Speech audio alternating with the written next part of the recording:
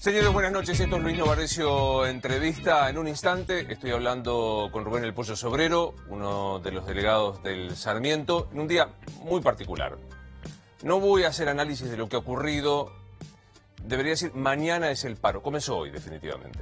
Hoy la manifestación de la CTA, de distintas organizaciones sociales. Hubo muchos cortes, mucha movida que ya analizaron Eduardo Feynman y Luis Majul, así que no voy a hablar tampoco de este anuncio que se hizo en la CGT. Me parece que lo que conviene en esta noche, o por lo menos la intención nuestra, es saber cómo sigue esto. Mañana todo indica va a ser un paro muy importante, no va a haber transporte. Aquí viene la vieja discusión de si no hay transporte, cómo se puede evaluar. A ver, los trabajadores del transporte son también trabajadores y el derecho a la huelga es un derecho constitucional. Digo, más allá de que haya o no haya transporte que se pueda empezar a averiguar numéricamente si hubo adhesión voluntaria o adhesión de prepo, porque no se podía trasladar a aquella persona que quería trabajar, me parece que estamos en un momento muy particular. Hoy el gobierno sigue insistiendo con que el acuerdo con el Fondo Monetario Internacional le va a permitir mayores desembolsos. esta es la política del gobierno y volveré a decir lo que dije aquí, ni bien comenzó la crisis cambiaria, que entiendo no está superada. El gobierno le sigue hablando a los mercados, el gobierno le sigue hablando a los grupos económicos, el gobierno habla entre políticos, se siguen discutiendo oposición y el oficialismo, me parece que falta la pata de hablarle a los que, por ejemplo, hoy y mañana deciden que la situación es muy grave, no les alcanza para comer y paran. ¿Quién les está hablando? La sensación que tengo es que no hay un discurso hacia la gente. Y vuelvo con un hecho que me parece todavía de mayor postergación. Si bien mañana en la manifestación se va a pedir por los jubilados, me parece que es el grupo social menos escuchado a los que no hay ningún tipo de de asistencia. Hubo un incremento por única vez de 1.500 y 1.200 pesos por la UH, etc. Digo, pero el tema de los jubilados. Bueno, de todo esto y para saber cómo sigue a partir del miércoles, hoy lunes estamos con esta medida que ya comenzó, mañana es el paro general. ¿Qué pasa el miércoles? Converso con Rubén el Pollo Sobrero. ¿Qué haces, Pollo? ¿Cómo te va? ¿Cómo te va? Gusto verte. Gracias. Por favor. O nos vemos siempre o no nos vemos nunca. Es así, bueno, ¿viste? así son las profesiones. ¿Cómo va? Un gusto verte. Igualmente. ¿Arrancamos? Dale. ¿Qué, ¿Qué, pasa el miércoles si no cambia? ¿Qué pasa el miércoles? El miércoles hay que hacer un análisis de cómo fue la jornada y tenemos que ver cómo continuamos, porque evidentemente el plan económico que, que está aplicando Macri va a dejar un país devastado, eh, solamente en los últimos seis meses 200.000 compañeros nuestros perdieron trabajo. Hoy perder el trabajo significa que ya está, terminó tu vida, porque pasás al abismo, pasás a ser un tipo que tiene que terminar comiendo una olla popular, tiene que salir a hacer un corte de calle para que le den un plan social. Es, eh, es imposible que se reinserte en el movimiento laboral porque no hay trabajo. Y bueno, es eso lo que queremos hacer, escuchar eh, eh, mañana y hoy, que lo estamos haciendo escuchar, que es que el gobierno no puede tener una política que solamente se asiente en la bicicleta financiera, en el endeudamiento. Vos recién decías, le hablan a los mercados. Es así, pero no solo eso, que es un poco más profundo. Vos fíjate que mm, la plata que se está pidiendo en el Fondo Monetario Internacional no es plata que viene para la salud, para la educación, para construir una, yo qué sé, para abrir una empresa. Es bicicleta que se va todo afuera. Y eso después lo vamos a tener que pagar nosotros. Ahora, pues yo tengo una pregunta que es medio torpe. ¿Esto es que no les sale? No, a mí iba a hacer esto. ¿Este es el plan? Mm. Definime el plan. ¿Cómo es el plan de Macri? Es un plan de los ricos para los ricos seamos más específicos. Más específicos. Los únicos que están ganando con este plan son los grandes grupos económicos y el sistema financiero. El campo, punto. Los demás estamos todos fuera de la órbita de, lo que está planteando el gobierno. Esto lo, lo, planteo, tiene que haber claridad en esto, porque eh, es una discusión que hay entre mucha gente. Este gobierno es torpe. A ver, si el que se cree que Macri llegó por porque, porque sí se equivoca. Macri llegó con un plan económico, llegó con un equipo económico que venían a hacer esto. No, no, hay, no hay duda. O sea, no es que no le fue saliendo. No. Les, vos decís, en todo caso, les está saliendo. Les está saliendo muy bien. Vos fíjate, cuando vos le haces una entrevista a alguien del PRO, te dicen, ellos te dicen, estamos en lo que nosotros, en nuestro objetivo se está cumpliendo. Sí, sí, de vez en cuando te, te la figuran un poco. La situación es tan grave, tan grave. Mira, yo vivo allá en el oeste de Buenos Aires. Lo que he visto en Moreno, con la muerte de Sandra y de Rubén, y cómo las escuelas se caen a pedazos, condice con lo que decía la gobernadora Vidal. Un pobre no tiene que ir a la facultad, o no llega a la facultad. En realidad, eso, o lo que dijo Michetti, ellos se creyeron que se podían ir de vacaciones todos los años, o que se podían comprar un plasma. Esa es la ideología que tiene este gobierno, y la están aplicando a rajatabla. El gobierno te corre inmediatamente diciendo, antes era igual. Con Scioli era igual, con Cristina era igual.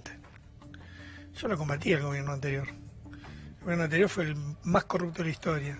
Lo que pasa es que este, este gobierno solamente puede discutir con ese invento que es la grieta, eh, puede discutir contra el kirchnerismo. Pero cuando vos le pones a alguien que te dice, como digo yo, yo lo combatí al kirchnerismo, se quedan sin argumentos. Porque ¿qué te pueden decir?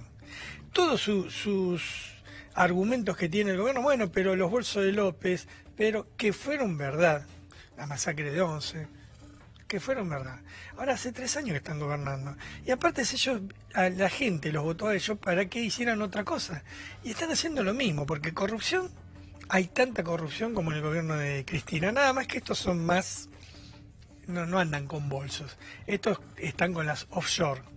El caso, cuando, cuando salga a la luz el tema de Odebrecht, va a tener que dar muchas explicaciones Macri, no Macri padre, Macri hijo.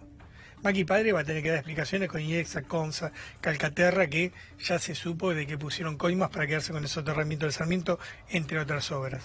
Pero eh, la corrupción sigue siendo el- el- la misma que había con el gobierno kirchnerista. Dijeron que venían a crear trabajo de calidad y ayer estábamos escuchando en tu programa, eh, Wolf, diciendo, hemos duplicado los planes sociales, pero como no era que lo mismo que le criticaban al kirchnerismo es lo mismo que están haciendo ellos, planes sociales, no queremos planes sociales, a ver si lo entienden, queremos laburo. Yo, yo quiero que hablemos de Odebrecht porque me parece interesante. Es una pata que por ahí no se escucha tanto, que son ustedes que son los que laburan en el Sarmiento. Y que lo venimos denunciando y que nos Hace tiempo. callan la boca. Pero déjame, déjame preguntarte esto. ¿Cristina y Macri tienen el mismo plan? O sea, ¿tienen la misma matriz de, de- de ejercer el poder? En el fondo sí.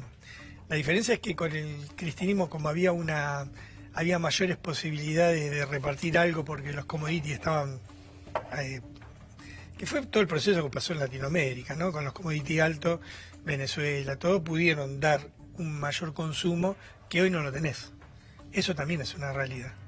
Lo que pasa es que estos tipos también este es un gobierno de clase. Es un gobierno que va al hueso. Ellos, ellos cuando dicen, venimos a cambiar la estructura. Mira, yo te doy un ejemplo. Estuve en EPEC, la empresa De Córdoba. de Córdoba, donde salió Agustín Tosco, y la quieren ahora, la quieren privatizar. Es la empresa de energía. La empresa de energía. de- de Córdoba. Y yo, la verdad que me causaba gracia, porque yo le decía a los compañeros, ustedes tienen que ir a Buenos Aires para ver lo que es una empresa de energía privatizada. Porque decía, mira, eh, estuvimos, eh, la gente nos a veces nos critica porque están tres o cuatro horas sin luz. Y en Buenos Aires estamos tres o cuatro días sin luz. Y vos sabés que participé en una reunión en Calasanz y estaba un ingeniero me dice, ¿querés eh, venir? Vamos a hacer una reunión con la gente. Digo, yo pensé que era una reunión gremial. ¿Sabe qué estaban discutiendo los trabajadores? Un nuevo sistema, que mira, acá casualmente lo tengo. El ingeniero, el ingeniero Jorge Freites, juntó a todos los trabajadores y dice, miren, si nosotros cambiamos el sistema de, de, de los anillos que tenemos, que circun- donde circula la corriente y todo eso, y ponemos en los módulos eh, un sistema, podemos hacer que cuando se corta la luz, automáticamente desde una computadora nosotros achicamos el radio de la gente que se queda sin luz y podemos dejar que una sola cuadra esté sin luz hasta que lo podemos arreglar y el resto tiene luz. Eso es una empresa estatal. Una empresa que tiene que tirar un cable al cerro porque hay una, una escuela y te lo tiran. O porque tienen, tienen que ir a los lugares pobres. Ahora vos fíjate, cuando se habla de cambiar la estructura, me lo estaba, ¿sabes quién me lo estaba contando? El hijo de, de Tosco. Porque estuve con él, me estuve- él estaba en el, en el sistema de, de pagos y todo eso. Decía, y, y yo ahí lo recién lo entendí. Y mira que es algo que ya viene del gobierno de Cristina Cambiar la estructura, ¿qué significa? Por ejemplo, vos antes pagabas la luz, pagabas el boleto, todo cuando, cuando lo usabas. Vos la luz la pagabas cuando terminabas del bimestre. Ahora te lo están haciendo pagar por adelantado. La tarjeta sube es eso. La tarjeta sube es pagar por adelantado lo que vas a usar en el mes. Y, el- y la patronal, que tiene ganancias eh, terribles, aparte tiene la plata Antes. antes. ¿Qué es lo que pasó con los supermercados? Vos fíjate, ¿por qué desapareció el almacenero de la esquina? Muy sencillo. Vinieron grandes eh, supermercados que te compran a vos y te dicen, te pago a seis meses. Imagínate la ganancia que tienen hoy, a seis meses. Entonces, el almacenero de la esquina tiene que ir a comprar un paquete de yerba para venderlo y cuando vuelve ya le aumentó y perdió parte de la ganancia. Ahora estos supermercados se están haciendo un festín y son los tipos que te ponen los precios. Porque los productos... Sin, ningún control. En otros lugares del mundo, las mismas marcas, Obviamente. olvídate que aumentar el 20% y puedes hacerlo alegremente. En Francia, Lo haces eso- matan a Carrefour en Francia. Pues fíjate, el otro día se estaban quejando los productores porque cobran el 10% de lo que sale en la góndola los productos. ¿Quién se queda con esa parte? Escúchame, Pollo, es una pregunta trucha la que te hago y ahora hablamos de Oderbrecht. Es muy trucho lo que te voy a preguntar. ¿A quién le compras un auto usado, a Cristina o a Macri? A ninguno de los dos. Ando pata. O me tomo el colectivo. Tenés que comprarle a uno. A ninguno de los dos. Bien claro. Son lo mismo, muchachos. Son lo mismo. Cristina y Macri son lo mismo. Son lo mismo. Yo puedo entender que muchos compañeros peronistas te digan, che, pero antes estábamos mejor. Sí, en el consumo estábamos mejor, porque se consumía distinto. Es verdad eso, no, eso no se puede negar. Ahora, yo quiero un país donde gobiernen los trabajadores. Yo quiero un país donde sean los trabajadores los que deciden el rumbo a seguir. No quiero tener un 30% de pobreza estructural como la venimos teniendo desde el año 76, porque desde el año 76 para acá nosotros no logramos bajar eh, la pobreza estructural y los trabajadores andamos corriendo atrás de la zanahoria. Y está mal, porque este país funciona por los trabajadores, no por los empresarios, no por el mercado, no por eh, estos, estos políticos que nos gobiernan, que no, no tienen idea lo que le pasa, lo que le pasó a Rubén y a Sandra. ¿Qué, qué- definime a, a la CGT hoy. A Daer, a Cuña. La peor conducción de la historia del movimiento obrero. la peor conducción. Solamente comparada con la CGT colaboracionista de la dictadura de Triaca y Baldacini. Miércoles. No, es la peor. Cuando vos sos dirigente gremial y echan a tus compañeros y vos te callás la boca, ¿qué hora es? Once y pico. No, por respeto, Sí. no te, no te Podés, puedo- estamos fuera No, de- no, son, son unos hijos de puta. Porque no podés vos ser dirigente gremial y estar de los dos lados del mostrador. Y esto tiene que ver con una concepción que viene de hace rato, que los sindicatos, la mayoría, no por suerte todos, eh, por suerte hay muchos sindicatos que no son así, ni muchos dirigentes gremiales que no son así, los sindicatos pasaron a ser una herramienta de control de los trabajadores. Los sindicatos fueron construidos para que sean una herramienta para defenderse ante los ataques de la patronal y del Estado. El sistema, sistema capitalista, logró que los sindicatos sean una herramienta para controlar a los trabajadores, a cambio de enriquecer a sus dirigentes gremiales. Y nosotros es esto lo que queremos cambiar. Cuando nosotros nos decidimos a formar el encuentro sindical combativo, que son los, los sindicatos que está ganando la izquierda y que no tienen nada que ver con, con esos dirigentes gremiales, ¿qué nos propusimos?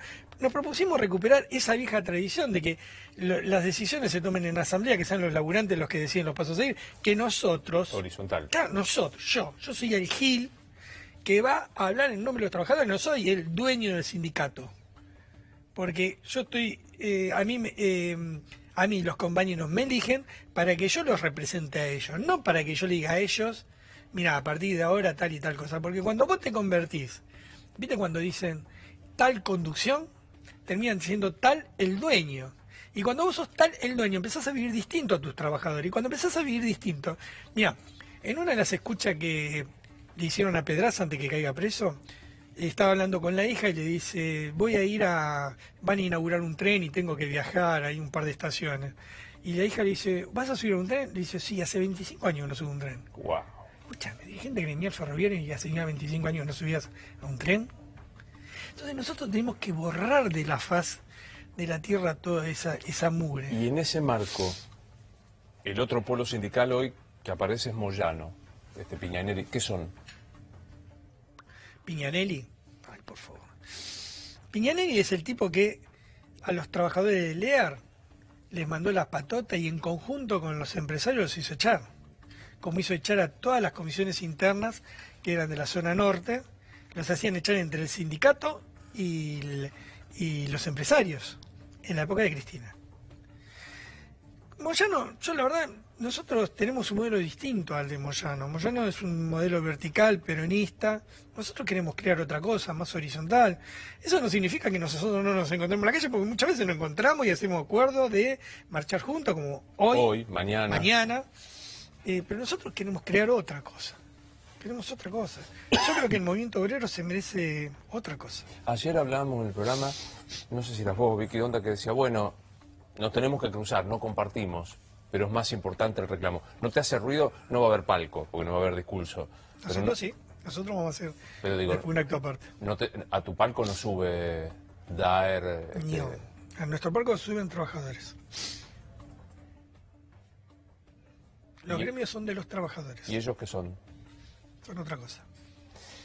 Trata de explicarme, como se lo tenés que explicar en las asambleas, a tus compañeros de laburo y a nuestra audiencia, que por ahí no, no es Alconadamón, este, no, ¿qué, es, ¿qué es Oderbrecht? ¿Qué, qué, qué significa vos que estás en el Sarmiento? Mejor que el Conadamón va a ser difícil que lo pueda Por eso te digo, explicar, porque él está investigando un montón de cosas. Que es más, estoy esperando que eh, se puedan blanquear todos los, los documentos de Brasil donde claramente muestran que Macri era socio de Brecht, Mauricio, Mauricio. Pero contame qué, qué significó. Porque muchos decimos Oderbrecht, Oderbrecht, y por ahí no estamos, insisto, no solo porque nos gusta Sí. eh, esto, pero digo, contale al, al televidente común, al laburante común, qué significó Oderbrecht. Odebrecht es el típico, la típica empresa que mm, hace negocios en un sistema capitalista, donde la coima es común, donde la obra pública con sobreprecios es común. Lo que pasó acá en Argentina con un montón de empresas que a medida que va saltando el tema de los cuadernos y todo eso, Wagner salió a plantear, ¿sí? cobramos coima, hacíamos esto, hacíamos eso. Así se maneja. El, el sistema capitalista hoy en día tiene una clase de empresarios que vive de la teta del Estado. Hablan contra el Estado, pero después viven de la teta del Estado, porque van y terminan haciendo negociados con, con el Estado, que es... eh, vos fíjate que Pablo Roca, Pablo Roca que pagó estamos esperando que se termine de, de clarificar el tema ese, pero supuestamente pagó una coima a Cristina para que intervenga ante el gobierno de, de Chávez por la empresa Sidor. Cuando les, les expropiaba Claro. eh, el, el techín de Venezuela, por Claro. decirlo de alguna manera. Macri. ¿No te acordás el papá de Macri que le decía al hijo, vos estás loco si con Cristina estamos bien? Entonces, hay, eh, nosotros estamos viviendo, yo sé que capaz que vos no compartís esto, pero nosotros estamos viviendo el fin de un sistema, que es el sistema capitalista. No sé para dónde vamos a ir, pero como lo estamos conociendo hasta ahora, estamos viendo el fin. Todas las instituciones que sostienen al régimen están en crisis terminal. Y si no, te hago una pregunta, paso a ser yo el periodista. ¿Vos confías en los gremialistas? Sí, puedes confiar en algunos, que la verdad, tipos hay- muy no- y muy buenos, ¿eh? Sí, claro. Y muy buenos. Pero la institución son malas. En los empresarios, sí, puedes confiar en alguno otro, pero la institución es mala. La justicia, puedes confiar en algún juez, en algún fiscal, pero la institución es mala. La policía, puedes confiar. Es decir, cada uno de los de las bases que tiene este régimen están destruidas, que se empezaron a, que el- el mayor momento de destrucción fue el 2001 y Marcos Peña se creyó que eso lo habían eh, superado con el gobierno de, de Macri y queda claro que no es así, no es así. ¿Qué- qué, ¿Lo escuchás hablar a Marcos Peña y qué te pasa? Escucho hablar a alguien que con el que no coincido en nada. ¿Te parece un tipo brillante, más allá que nos coincide, ¿te parece un tipo brillante? ¿Te parece un invento de, la, de, de los focus group? ¿Qué te parece? Si está donde llegó es porque evidentemente es un tipo que sabe. Caballo también es un tipo que, que sabía. Lo que pasa, Martínez II también es un tipo que sabía. Lo que pasa es que utilizan el saber para ver cómo nos revientan a nosotros. Ese es el problema. Pero su, su nivel intelectual, no sé, son, son Es casi que- psicológica la pregunta. ¿Vos crees que este modo de pensar es para llevarse puesto a los laburantes? Sí, totalmente. ¿Así de perverso? Ellos serían felices si nos vieran a los trabajadores con un hueso en la nariz y le dijéramos iguana, con un taparrabo. Serían felices. Michetti estaría feliz de ver eso.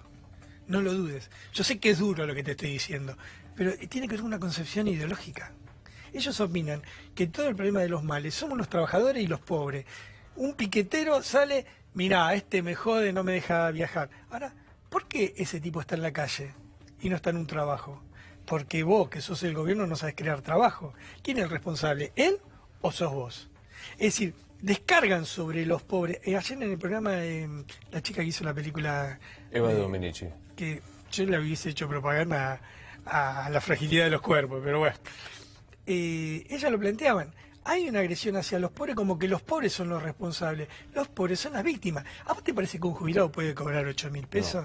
¿Y qué te dice Wolf ayer?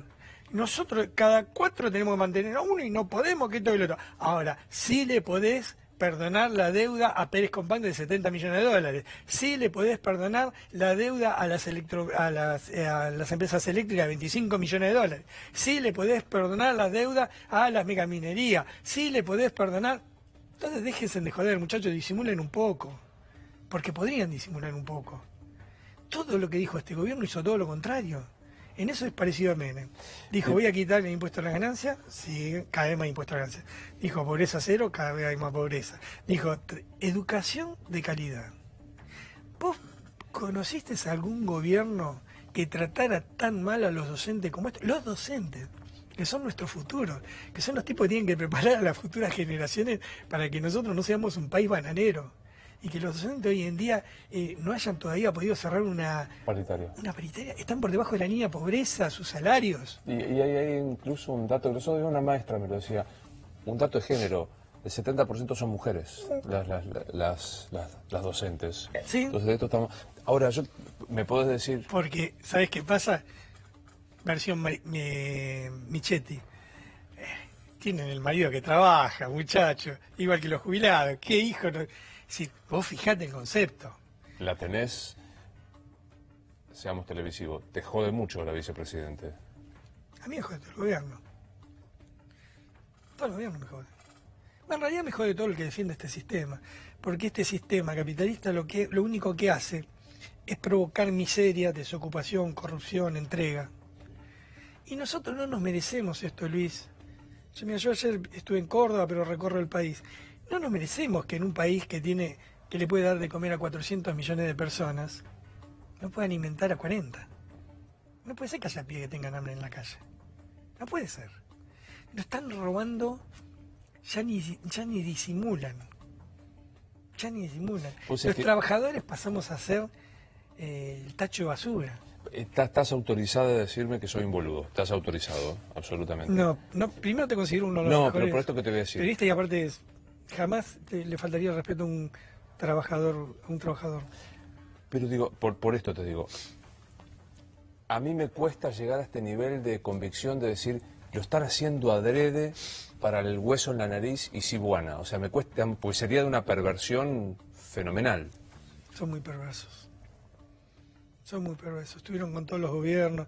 Cuando fue la dictadura no tuvieron, no tuvieron ningún plurito en, apoyar a la dictadura mientras que nuestros compañeros desaparecían. Eh, no les importó cuando Menem echaban gente y ellos son muy perversos. Eh, lo que pasa es que a medida que se achica el reparto de la torta, ellos cada vez quieren tener más y cada vez hay menos para repartir y nosotros no nos tienen en cuenta. ¿Y qué ves el año que viene? ¿Qué te imaginas el año que viene? Porque digo, vienen elecciones, ¿qué, digamos, ¿qué panorama ves? Falta mucho para el año que viene honestamente, yo estoy, yo estoy muy preocupado porque no, el año que viene es muy lejano. Los quineristas que te dicen, eh, dejemos gobernar tranquilo y en el 2019 lo cambiamos. El dejemos gobernarlo tranquilo significa que van a aplicar el plan económico que quiere el Fondo Monetario Internacional. Significa que todos nosotros vamos a estar peor. ¿Qué? Mientras mejor, mientras peor, mejor. ¿Volvemos de vuelta a eso? Mientras peor, peor, muchachos. Si no hubiese sido porque muchos salieron a pelearla, nosotros hoy estaríamos mucho peor de lo que estamos. Pero digo, es, eso es, falta mucho, es casi el borde de que te van a decir querés que se vayan antes. Yo quiero que caiga el plan económico del gobierno. ¿Qué? Yo quiero que caiga el plan económico. No quiero que gobiernen más para la clase alta. Quiero que gobiernen para todos. Pero si vos querés que se vaya a Duhovne y que venga... A mí no me importa cambiarle el collar al perro. Ah, estoy figuradamente, pero sí. Yo lo que quiero es que gobiernen para todos. La gente, ¿para qué votó? A ver, la gente que votó. Yo no lo voté a Macri, yo voté al frente de izquierda y después voté en blanco. Eh, la gente que votó al macrismo, mucha gente votó contra Cristina, eso. Pero también mucha gente votó porque Macri dijo, vamos a quitar el impuesto a las ganancias, el problema de la inflación lo solucionamos en una semana. Levantó el cepo, para la clase media era... Para la clase media. Bueno, de todo eso que dijo, fue para el otro lado para, en, todo, en todo sentido. Entonces, tenemos que, eh, que haya educación de calidad, queremos que garantice. Ahora, para eso tiene que cambiar el plan económico. ¿Y cómo haces, digamos, si van a estar, digamos, a vos no se te escapa que no van a cambiar el plan económico? No, ya lo tengo muy claro. Nosotros tenemos que hacer todo lo necesario para que lo cambien. Tenemos que presionar todo lo posible para que... Eh, vos, yo te hago una pregunta. Em, hace un año atrás, dos años atrás, ¿vos te imaginabas que una rebelión de mujeres iba a poner el tema del aborto en la mesa? Y lo puso. No salió ahora, habían, vos fíjate lo que es este sistema, 3 millones de mujeres pidiendo el aborto y 38 tipos decidiendo por, para que la mujer siga siendo una incubadora, porque es eso lo que te plantean. Eh, nosotros vamos a decidir cuándo vos podés tener y cuándo no podés tener. Entonces, eh, empiezan a haber cambios importantes en la sociedad. Ojo con eso también. Pero digo, suponete que se repite la historia de ¿es Cristina o somos nosotros? No, basta con eso. Bueno, pero ¿y el escenario es ese hoy? Bueno, bueno, yo te hago una, una propuesta distinta. Hay otro hay otro bueno, Yo te, hago una propuesta, empezá a cambiar por la izquierda, viejo. Nosotros te estamos proponiendo que gobiernen los trabajadores y que tengamos un sistema socialista. Puede ser que a vos no te guste, pero es otra cosa. Dejémonos de esa mentira, porque esa mentira es la que nos va a hundir. Porque es la grieta, ¿sabes de cuál es? Trabajadores y los que viven de los trabajadores. Esa es la verdadera grieta. Después todo lo demás. ¿Qué pasa si gana Macri el año que viene? Uf si gana Macri el año que viene. Y yo creo que se va a profundizar el modelo de un país bananero, donde las desigualdades van a ser mucho mayores a las que hay hoy, y la vamos a pasar muy mal hasta que la gente decida votar otra cosa. Mm, para, para, cerrar este tema, ¿vos no crees que se vaya antes este, este, gobierno? Yo quiero que cambie el plan económico. Ya lo entendí, que caiga el plan económico. No lo cambia. ¿Qué hacemos? Vamos a hacer todo lo necesario para... No hay trinchera acá. Son ellos o nosotros. Tienen que cambiar el plan económico. Y la gente lo votó para eso. ¿A quién te quieres parecer? ¿A qué país te gustaría parecerte? Argentina con un sistema socialista con democracia. ¿Hay alguno por afuera que se parezca? Hoy no. No hay nadie, ni los escandinavos, ni el... no. Porque nosotros tenemos cosas que no tiene ninguno de todos esos países. Nosotros tenemos todo. Nosotros nos podemos autoabastecer, nos podemos, no tenemos que depender de nadie. Eso de que, que vengan los capitales, no necesitamos nada de eso. Nada. Tenemos un país que tiene todo. ¿Qué es, ser, socialista hoy en el 2020? Te veo con literatura. no, te, te, vine a regalar dos libros. Está muy bien. ¿Qué es, ¿Qué es ser socialista hoy en el 2018? Ser socialista eh, es tratar de tener una sociedad sin clases sociales, donde no haya, eh, donde el que gobierne sean las clases obreras, donde por ejemplo la educación la discutan y la lleven adelante los docentes, donde la justicia sea llevada adelante por sus trabajadores, donde cada, cada eh, trabajador lleve adelante en su lugar de trabajo qué clase de país queremos es que gobiernen los laburantes, concreto. Em, Porque aparte somos los que manejamos el país. Somos los que ponemos en funcionamiento el país. No son los grandes empresarios. Los medios, ¿qué son? ¿El dueño de este canal? ¿O sos vos, el camarógrafo, el que tira el cable, tu asistente que está, que se estuvo matando para que yo pudiera venir acá? ¿Por quién funciona el, y las cosas, ¿no? No, es ustedes No son las dos cosas. Pero si nosotros no tenemos el capital, nos juntamos y hacemos una charla entre todos nosotros. No, porque el capital es producto a lo que la sociedad junta. No es, eh, obviamente, vos tenés un empresario que hoy te pone la plata, pero en un sistema distinto el capital lo tenés porque es el, es el trabajo el mayor capital. En un sistema socialista lo más importante no es la plata, es el ser humano. Esa es la gran diferencia entre un sistema y el otro. Cuando eh, me vas a tirar el libro por la cabeza y me vas a facturar que no te regalé un libro que te prometí siempre que... No, pero yo te lo tengo que agradecer porque la verdad que... Porque quiero hablar un segundo de eso. De, yo le recomendaba al pollo La fragilidad de los cuerpos. Sergio. Holguín es un autor fuera de serie. Bárbaro. Y en La fragilidad de los cuerpos, Holguín cuenta, en el comienzo, no voy a contar demasiado, cómo una periodista se interesa por el suicidio de un maquinista del Sarmiento Sí, y se entera que hay un juego en el conurbano donde va el, el Sarmiento que es cierto. que los pibitos... Contame de qué se trata, así no lo cuento yo. Eh, se ponen dos pibes adelante de un, de un tren y se hacen apuestas a ver quién salta primero, ¿no? Y quién salta último.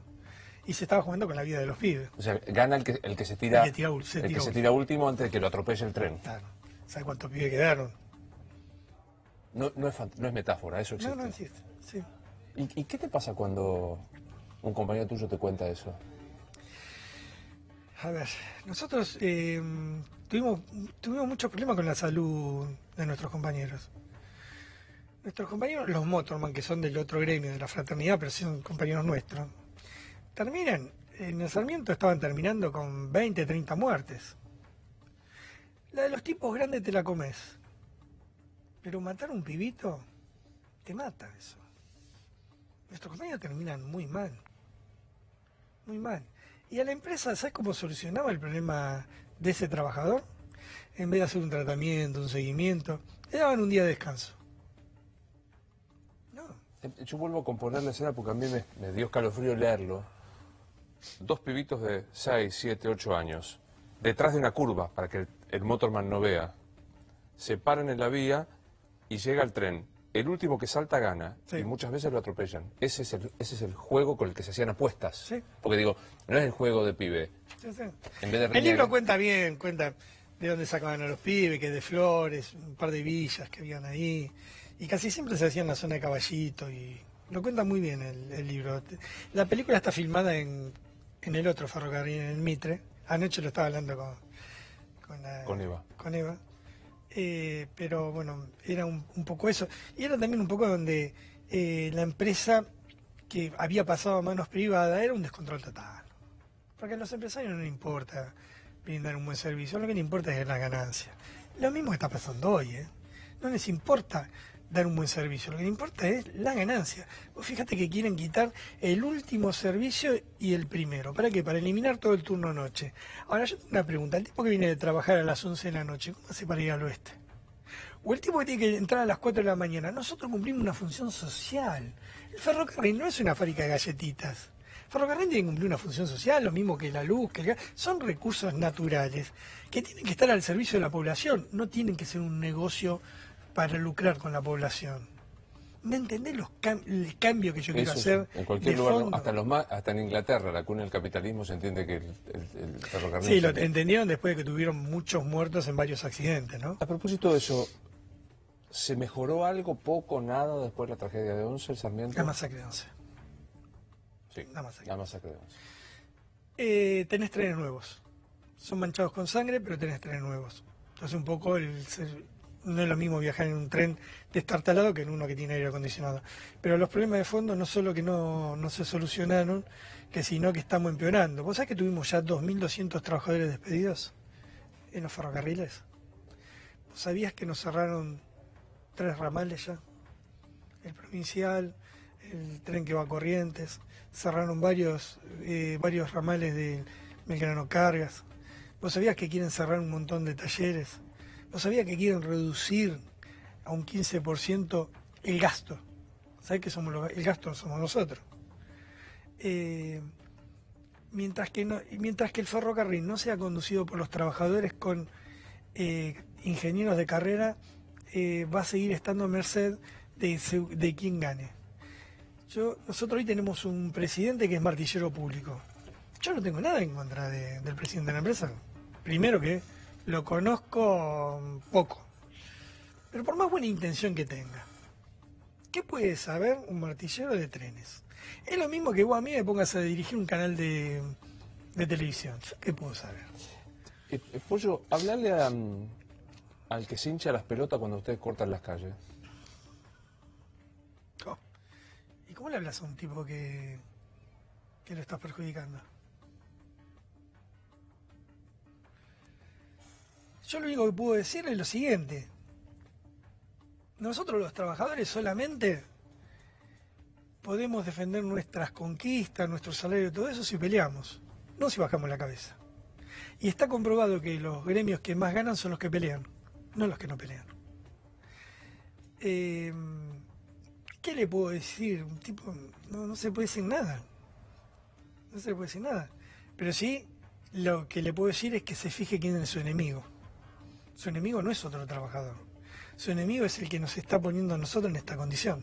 Es pregunta, ¿no? Porque en esta circunstancia social, yo estoy muy atento a lo que pasa, digo, me parece que caerle al tipo que hace una protesta con lo mal que está pasando es, es- no entender lo que está pasando. Pero mi pregunta es, si hay dos trabajadores, el que, el que está jorobado por el corte y el que hace el corte, el corte en realidad no los divorcia porque lo que tiene que tomar la decisión o van en helicóptero, van por otro lado, o no pasa nunca por donde está el corte. Digo, este, hoy hubo corte por todos lados. Sí. Te aseguro que ni Patricia Bullrich, ni Stalin, ni Triaca, ni nada pasan por ahí. Sí, lo que pasa es que nosotros tenemos que ir al fondo de la, de la discusión. ¿Por qué hay un trabajador que hace un corte de calle? Porque si no, no vas la- al problema de fondo. A ver, si a vos te cortan... Yo me acuerdo cuando laburaba, que no laburaba en el ferrocarril, y me comí un mes de palo de los ferroviarios, los reputeaba. no llego a mi trabajo.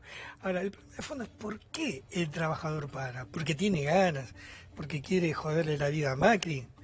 O para porque hay un problema de fondo. Acá no se mira, no se mira eh, la causa, se, se miran los efectos. Y los periodistas, la mayoría, cometen ese error. Algunos malintencionadamente y otros porque no, no llegan a ver el problema de fondo. Que si vos discutís los efectos y no discutís la causa, te vas a equivocar. Porque no creo que a ningún a ninguna mamá que va con un carrito a una manifestación para que le den un plato más de fideo, no creo que ella sea la culpable o que quiera estar ella ahí.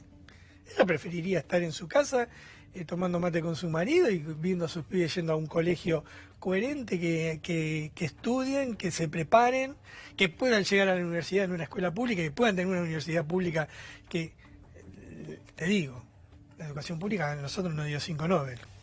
La privada nos dio un Macri. También muestra un poquito quién es quién, ¿no? Pero nosotros eh, necesitamos, eh, yo no creo que ningún trabajador esté contento yo qué sé, yo cuando voy a una marcha me tengo que enfrentar con la policía, que es otro laburante que cobra menos que yo.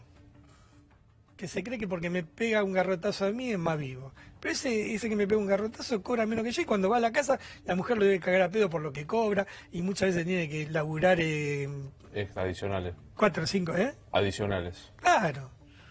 Viven, viven eh, trabajando. Yo, yo entro a laburar.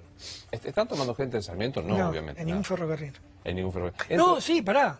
Sí, sí, perdonadme. Están en el, pro- en el ferrocarril provincial, echaron 1.200 personas y tomaron gente con sueldos de eh, 120.000, 150.000.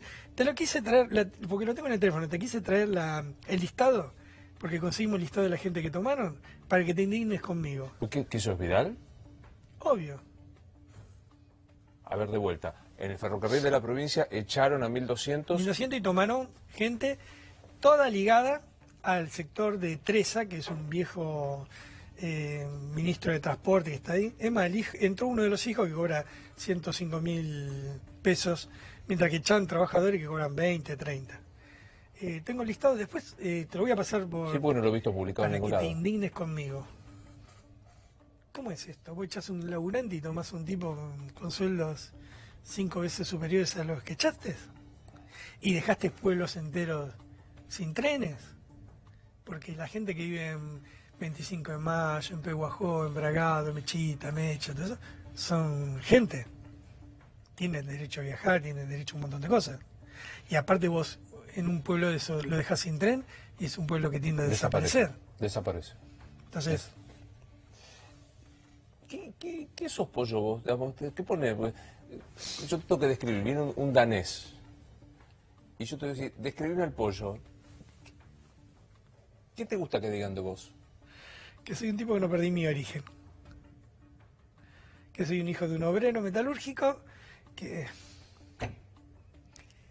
que la pasó muy mal cuando era pibe, que nos cagamos de hambre, que mi viejo hoy está sufriendo las consecuencias que tuvo que laburar como un animal para unos hijos de puta, que hoy mi hijo no tiene salud, mi hija no puede caminar, y que, eh, que he visto las peores desgracias de lo que es un sistema que se basa en la explotación del hombre por el hombre y voy a hacer todo lo posible para cambiarlo.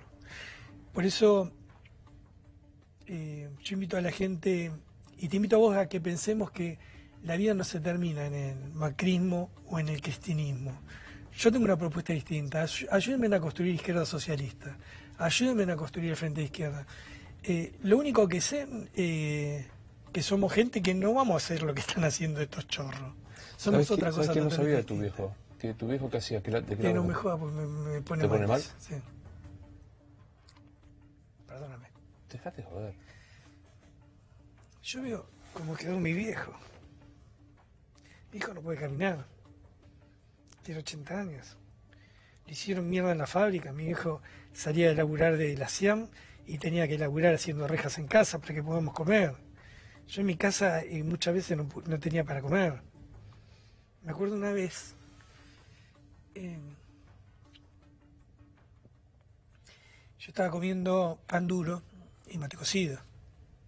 Y mi viejo y mi vieja nos miraban a Sandra, que es mi hermana y yo, cómo comíamos, y ellos no comieron. Yo eso no me olvido. ¿Y eran de allá de Aedo? No, vivíamos en Ciudadela en esa época. Era. ¿Y mamá qué hacía? No, mi, mi vieja ama de casa. Mi vieja era la que, Bancaba la que bancaba esa familia, cosa. la que bancaba a mi viejo que llegaba a laburar y se ponía a, a laburar, después se puso a levantar una casa a mano él. Yo tenía 14 años, laburaba con él. Y yo esas cosas no me olvido.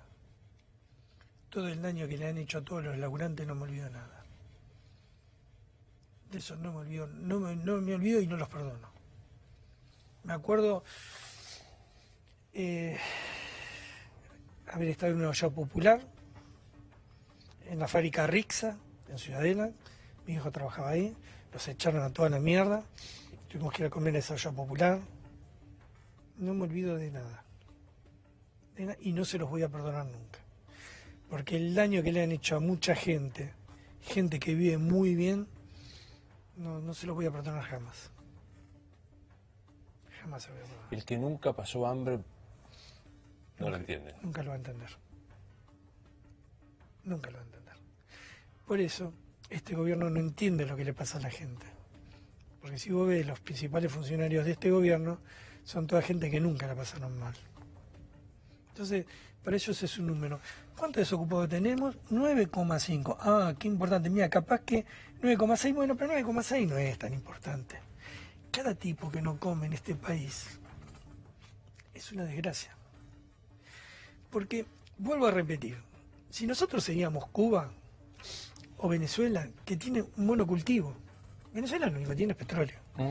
Y Cuba lo único que tiene es turismo, azúcar y cacao. Yo podría entender de que se racionalice la comida, pero acá la comida se tira. Acá la comida se tira. Mira, el año pasado estuve en Mendoza y estuve en una en un viñedo de un familiar, vendría a ser un familiar nuevo que tengo, eh, la mujer de, un primo mío tiene dos hectáreas. Y estaban todos los duranos tirados en el piso. Cuando acá el durano lo pagábamos 80 mangos el kilo. Y entonces digo, che, ¿por qué tenés todos los duranos tirados? Me dice, no los puedo, no los puedo levantar porque me sale muy caro y no los puedo vender. Digo, pero escúchame, si el durano está a 80 pesos, a mí sabe cuánto me lo pagan. 3 pesos, 4 pesos el kilo le pagaban. Digo, pero eh, no podés dejar el durazno tirado, porque hay gente que no tiene que comer. Me decía, no, yo, eh, vas a ver a la tarde, vienen todos los vecinos y se llevan, se llevan cajones, todo eso, pero le digo que se le- les pido que no me rompan los, los árboles, pero les pido que lo lleven. Dos últimas me quedan. Una que siempre hago acá. Nos morimos y ¿qué pasa? Oh, yo qué sé. Cuando me muera te lo cuento. Yo, eh, yo soy trotskista, no creo en, ni en el paraíso ni en el infierno. ¿No crees? No, creo que este sí, creo que estamos viviendo el infierno acá, pero no, Está muy bien. no, no, no creo, no, no, no, no soy católico. Bueno, te armo un café. Sí, Solo. Te sentamos ahí sí, y acá se sienta Macri. sí. Le diría, qué baile que le dimos ayer, ¿eh? Segunda. Pasamos. No, no, no, somos dos cosas distintas. ¿Qué crees que le diga? ¿Qué te crees que yo lo voy a convencer a él de que gobierne para los laburantes? ¿O vos te crees que él a mí me va a convencer que los capitales no van a traer eh, un bienestar? No. Lo cargaría un poco del baile que le pegamos ayer a los bosteros y punto. No hay ninguna mínima posibilidad de encontrar algo. De que se pueda encontrar algo. No lo veo. Yo no le faltaría el respeto, no lo putearía, no haría nada de eso, ¿eh? No te creo. No, no, no, no, no. ¿Por qué? No, es otra, es otra clase. ¿Qué Antes es que, eso? antes que nos vayamos. Venga. Vos siempre decís que yo soy un trosco raro. ¿Dónde lo podemos estar? Ahí estás. Esta es nuestra historia. Vos sabés que nosotros somos una corriente que viene de hace mucho tiempo. Hace poco se nos murió uno de nuestros dirigentes coral. Eh, la corriente morenista. Está lindo porque están todos los debates que tuvimos con la guerrilla. Habla del 45 para acá. Nosotros perdimos muchos compañeros que se fueron a la guerrilla en la época de Ter, que los tratamos de convencer que no se vayan, no pudimos. Y cuentan todo lo que es nuestra historia. Acá está la historia de cientos y cientos de militantes que dieron su vida por un cambio en una sociedad. Ojalá que te guste. ¿Vos decís que sigue vigente el hasta la victoria siempre? Sí, obvio. Obvio, totalmente. ¿Y, y la victoria está cerca o no? La victoria va a ser cuando el- los trabajadores seamos felices. ¿Sabe cuándo va a ser? Cuando tengamos un gobierno socialista. ¿Y la ves? Sí. No me voy a morir sin verla. ¿Cuántos años tenés? ¿Decís o no? No sé, va por ahí te pones coqueto y no decís la edad. No, eso es una boludez. Eh, 56. El primero de noviembre cumplo Sos 57. mucho mayor que yo, claro. Yo voy a cumplir 55, sí. El primero de noviembre te espero en mi casa. Eh, Cumpleaños. Cumplo años y sería un honor que estés con Yo nosotros. llevo el vino, prometo. Si lo vas a hacer como lo hiciste con el libro, no te creo. Me gustó mucho charlar con vos, es siempre un gusto hacerlo. No, no, el gusto es mío porque mm, vos sabés que yo, mm, yo no soy cholulo, pero yo te tengo un cariño muy especial. Te conocí cuando recién llegaste. Sos unos tipos honestos que hay. Nada, gracias. Gracias. Y Me gusta gracias. charlar con vos. Gracias por todo. Que sigas bien. Gracias. Esto es Novares Entrevista. Hasta la próxima.